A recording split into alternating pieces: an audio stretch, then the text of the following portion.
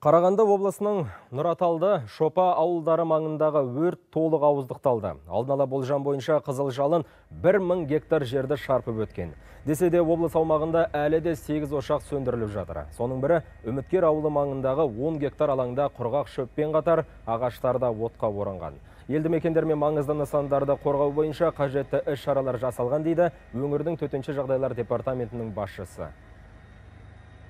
жалпы сегіз ә, табиғи ошақ ә, өрт ошақтары тіркеліп отыр бақылауға алынып. Оның төртеуі табиғи өрт ә, көлемдері елу гектардан астам. Және де төрт дала өрттері көлемдері елу гектардан аспайтын. Ошақтардың басындағы күштердің мәліметі бойынша елді мекендердің басында жағдай тұрақты қауіп жоқ.